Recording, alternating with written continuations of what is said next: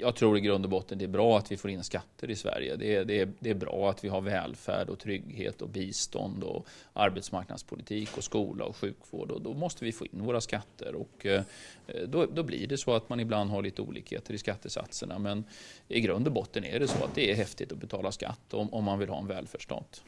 Ja, absolut, men vi har ju ändå kommit fram till att vi vill ha 6 på, på böcker. Vad är skillnaden på, på fysiska böcker? På det finns alltid lite ofullkomligheter i ett skattesystem. Ska vi in skatteintäkter och klara välfärden så, så, så, måste man ha skatter. Då kan man inte bara hålla på och sänka dem eh, därför att det finns olikheter. Okej? Okay?